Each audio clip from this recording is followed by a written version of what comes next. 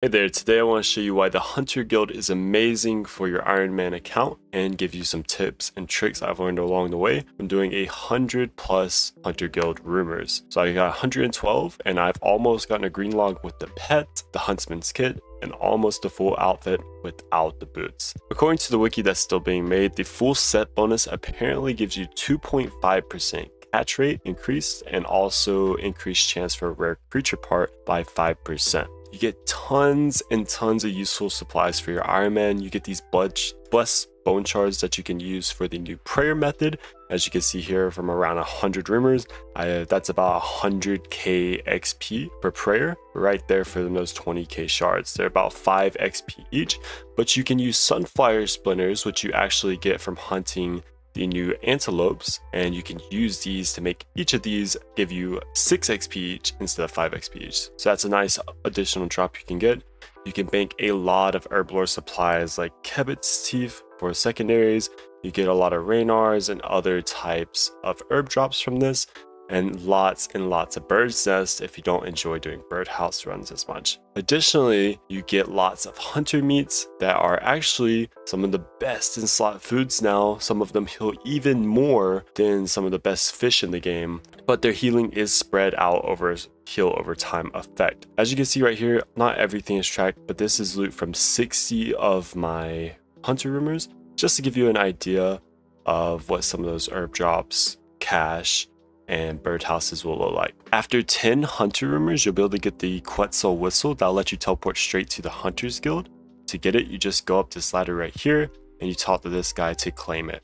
To recharge the whistle, you want to come up to him with meat in your inventory from wild pyrofoxes, kyatts, or antelopes, and then you use them on him and he'll recharge your teleports. You can get increased teleports by getting the blueprints from the hunter sacks. There's two different blueprints you can get for the enhanced whistle and the perfected whistle. And just to show you those sacks right here, I'll open a couple just to show you some loot. I got three money, some meat, and some logs, a little bit of everything. At 7200, you can do the expert rumors. That's the one that I do. To get a rumor, you just go down the stairs right here, and then you'll want to talk to either of these guys, Aco or Teco right there. And I'll actually show you how you can basically set a block for our hunter rumor, just kind of like a slayer task block. So right now he wants me to kill the saber-tooth cats. And then if I did not want that rumor, I could talk to Teco right here. And then he'll ask me if I want a different one to hunt for him instead, and then he'll give me one. Now, the one he gives you stays. So if I decide not to do this and I just go back to Aco for my other one, I can pretty much permanently block a task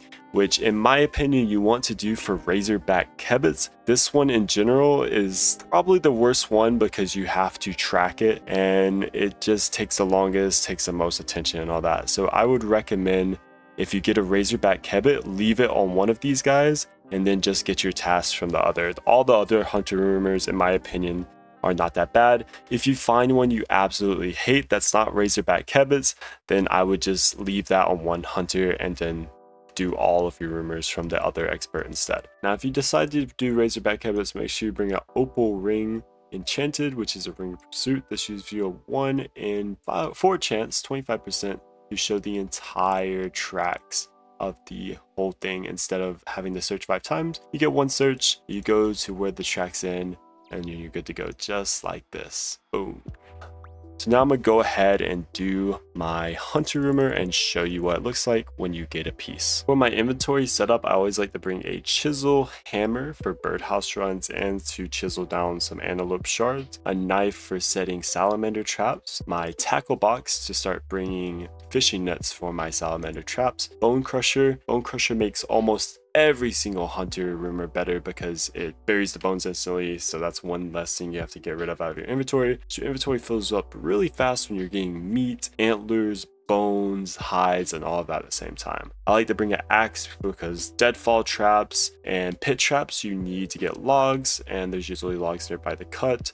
Rune pouch with my teleport to my house. Coins so that you can do the falcon kebbits where you need to have money for that and usually you want to have nothing equipped that way when you get there you can go straight into it and then my huntsman's kit which you get from the rumor sacks it can hold box traps, butterfly nets, your outfits, teasing stick, jars, and hunter spears. You want to make one of these because the hunter spear is basically a better teasing stick that gives you a 5% chance to lure the monster. When the cats jump across that I'm about to show you, it has a less chance of that happening.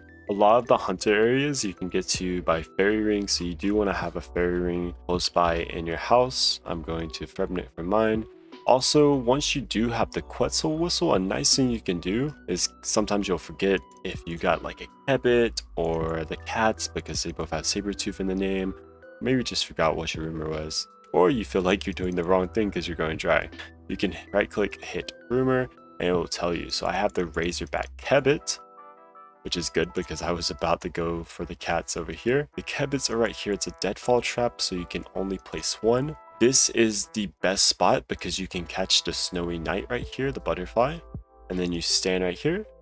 And then while you're waiting on your trap, you can catch it every single time it spawns. So you get increased XP per hour specifically in the spot for this test. So that's a good little tip right there.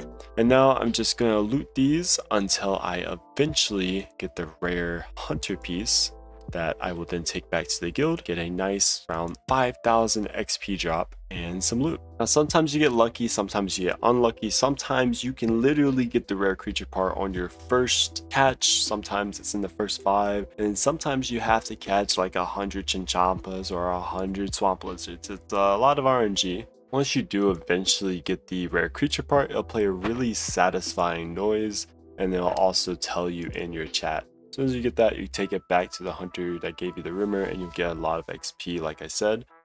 And yeah, I've really been enjoying this hunter update. It's giving me so many supplies for my Iron Man, banking Herblore supplies, banking Prayer XP. I've also even got almost a thousand chins from this, which I had none beforehand because I was already 99 range and didn't feel the need to. This is actually kind of nice because you can use chins and stuff like the TOA monkey room. So I have uses for them. And it's also gotten one of my least favorite skills, which was Hunter before this update. That was my lowest skill at like 73, I believe. And now I've leveled it all the way up to 82, doing over 100 Hunter rumors.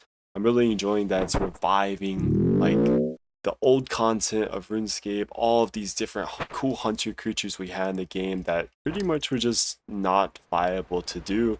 And I'm not even, I don't even know how much XP an hour this is, but it feels really good. I even try to weave in birdhouse runs in between my hunter rumors, and I've been just leveling left and right and getting amazing Iron Man supplies. So I highly recommend trying this out, especially if Hunter is one of your lower skills. Thanks for watching. Consider like and subscribing for more Iron Man or RuneScape guides, and good luck hunting.